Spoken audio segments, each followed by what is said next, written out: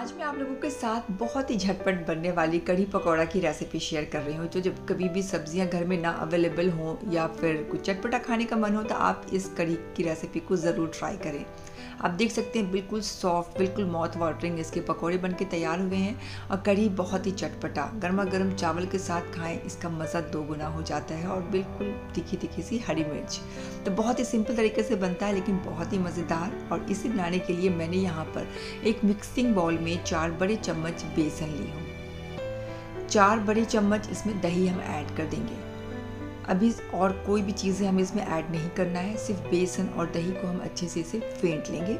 पानी भी बिल्कुल भी ऐड नहीं करेंगे। जब इस तरीके से हम बेसन और दही को फेंट लेते हैं तो बेसन में कोई भी बबल्स या कोई भी गांठें नहीं बनती हैं।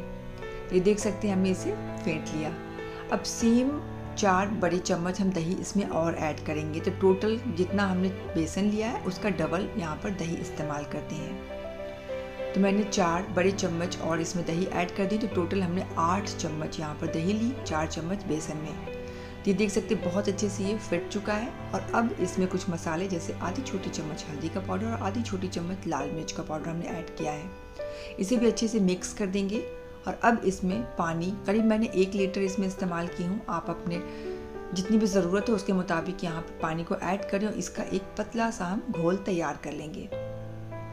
अब दूसरी तरफ़ एक हैवी बॉटम पैन को मैंने चूल्हे पे चढ़ाई हूँ, इसमें दो बड़े चम्मच सरसों तेल को ऐड कर देंगे और तेल जब अच्छे से गर्म हो जाए देन इसमें आधी छोटी चम्मच ज़ीरा, आधी छोटी चम्मच बारीक वाली राई, दो हरी मिर्च को बारीक काट करके इसमें ऐड कर देंगे, साथ ही आधा इंच का टुकड़ा अदरक का बारीक काट के, एक छोटी चम्मच लहसुन बारीक कटे हुए, एक तेजपात को तीन चार टुकड़ों में करके हम इसमें ऐड कर देंगे तीन से चार सूखी वाली लाल मिर्च और दो टहनियाँ कड़ी पत्ता के इसमें हम ऐड कर देंगे। इसे मीडियम फ्लेम पर यूँ ही चलाते हुए थोड़ा सौते कर लेंगे। और फिर इसमें आधी छोटी चम्मच हल्दी का पाउडर को हम इसमें ऐड कर देंगे। जब हल्दी को हम पहले से ऐड करके मिक्स कर देते हैं तो कढ़ी का जो रंगत है बहुत ही अच्छा आता है।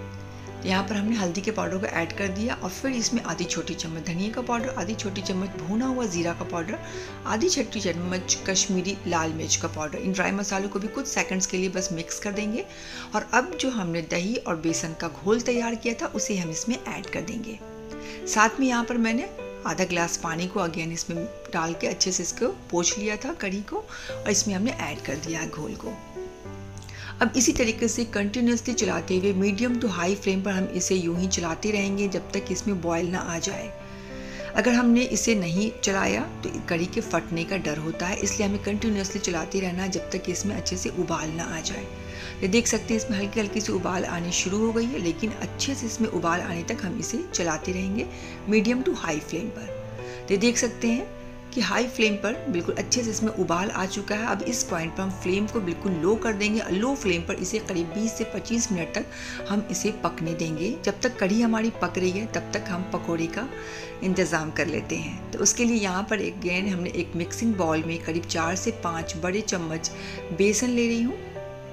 इसमें कुछ मसाले ऐड करेंगे, जैसे एक चौथाई छोटी चम्मच हल्दी का पाउडर, एक छोटी चम्मच के से थोड़ा सा कम लाल मिर्च का पाउडर, एक चौथाई छोटी चम्मच भुना हुआ ज़ीरा का पाउडर और आधी छोटी चम्मच इसमें मैंने अजवाइन को हाथों में इस तरीके से रब करके ऐड कर दी हूँ। नमक टेस्ट के अकॉर्डिंग करें, मैंने एक छोटी चम्मच किया था।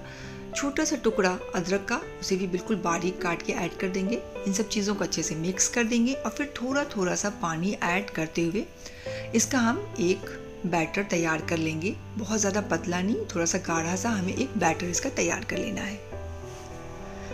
पानी थोड़ा थोड़ा करके इसमें ऐड करेंगे।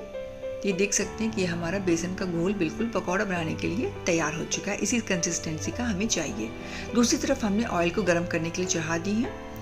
अब जब हम पकौड़ा फ्राई करने वाले हों, बिल्कुल जस्ट उससे पहले यहाँ पर दो पिंच मीठा सोडा, जो कि बेकिंग सोडा भी कहते हैं, ऐड कर दी और साथ ही एक छोटी चम्मच हमने पानी ऐड करके इसे अच्छे से बेसन के घोल के साथ हम मिक्स कर देंगे।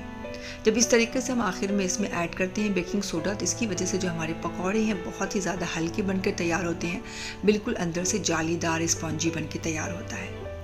तो इसे हमने मिक्स कर दिया। अब गर्म हो रहे ऑयल में थोड़ा थोड़ा सा पोर्शन इसमें हम डालते चले जाएँगे पकौड़ा बनाने के लिए।